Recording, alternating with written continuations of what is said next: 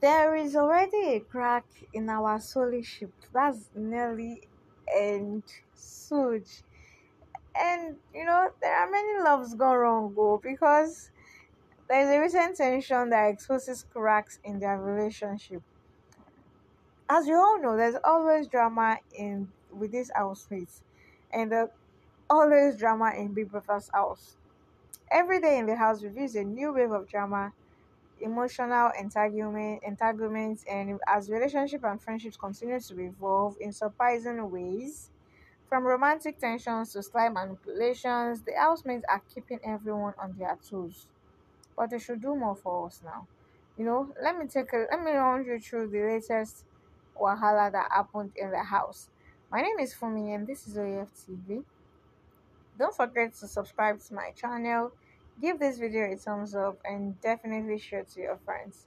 So Nelly and Sooj are stirring the pot again and this time Sooj isn't holding back. In a conversation with Nelly, he confessed, I am the one catching the strays. And the other day, someone said they are using this one's art to play. So while Sooj insists is giving as much as Nelly, the underlying tension is there. Though Nelly claims she's over a previous hand holding incident, but I actually knew that Nelly did not really. You know that Saturday when he was asking, like, "Are you sure you are okay?" I said, "I'm sorry. Have you forgiven me?" I was like, the way she was saying, "Oh, it's okay, it's okay." I was like, Mm-mm, "This girl is not really okay. Like, she's not really cool as she says." So Sooj also had a conversation in the garden with his friend and partner Topher. So in the IG, Sooj revealed that Nelly asked him about his blood group. Like, it don't reach that level. Do you actually want to marry him? And this made him wonder if they were at that stage because that's a serious question to ask. In how many weeks? It's not even up to months, it's not up to a year. Maybe she actually wants to know quick, quick, so that she will know her decision. And he also mentioned that Nelly raised an issue of Sue saying things like, might look like a joke, but to others, it isn't a joke. So Sue told Topher that when he asked Nelly to give an instance, Nelly said she couldn't think of any. This matter between Nelly and Sooj is really hectic, and I think in this at this point it is Nelly that is stressing this guy. Because if you are not interested, just tell him, let me work. And if you are there, just be there. Don't be going, don't be having mood swings and all that. Because she couldn't really say what exactly was wrong with her, and it was just, you know, just there. I wonder what is happening to their ship, anyways. So moving on to the Onyeka and Ozee Palava, the Mbadiwe twins and Kelly had a G session as they built their bodies in the gym. So Ozee, who did most of the talking about Onyeka's antics, said he is not sure that Victoria likes him or not. But Onyeka took it upon herself to start and say things on his behalf.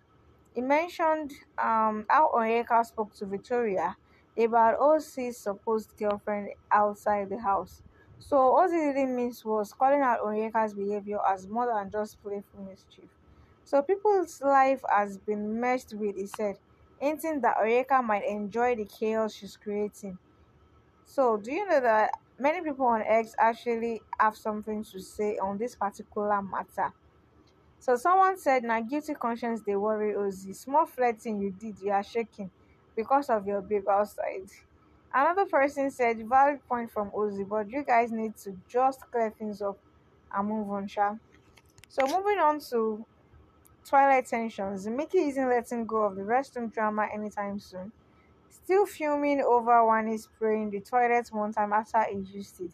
Remember, it was this thing that actually caused them to like nominate them during the nomination, saying he actually went to the toilet and while he was when when he finished, she just saw Handi pressing perfume and he was like, okay, are you trying to like, well, wait, this is a normal thing you can actually do in your house. Like, you went to the toilet, I'm like, oh, your shit is smelling. I'll just spray the pev, like, hmm, hmm, hmm, or something like that. So, why is he taking it like personal? Like, even if it was indeed done to you, I've said, is it because of me you are spraying, like, comforting or something, or rather than him assuming and trying to like draw an enemy to him. So still fuming over one inspiring toilet, you know. After he used it, Mickey found a sympathetic care in Anita. What had started as more irritation has spiraled into something much bigger. So with Mickey even citing it as his reason for nominating the twins this week. Anita's um advice, she said, don't take it too personally and speak up next time. But make his grudge still lingering. It is anyone's guess because if it's really, if it feels like this really, you actually let this one slide because I don't really know why it's kept on going on about, you know, the perfume issue, the spraying issue, the toilets issue. He kept on asking, he has like ask Anita, why can't you just go directly to them? Okay, so so so days I was the toilet, I came out, you were not spraying, but was it were you spraying it because of me? You should actually try. You should learn to like confront each other and not talk behind each other's back. Let me know what you feel. Let me know what you think. Let me know what your thoughts are in the comment section. And I will see you in my next video. Bye.